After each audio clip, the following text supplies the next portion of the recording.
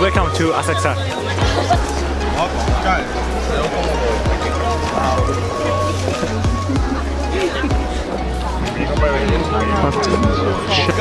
これはあ行です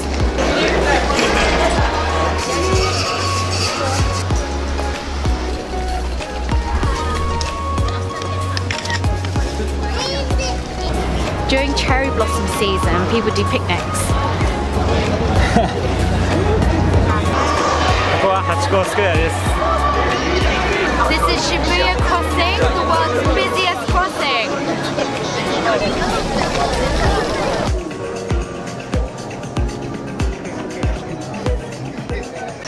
We're actually located in a place called Ichiran Ramen, which is probably one of the most touristy ramen spots you can actually visit here in Tokyo.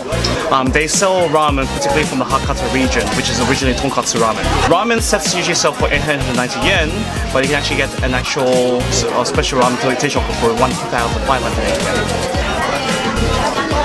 And give me... Ah, yes!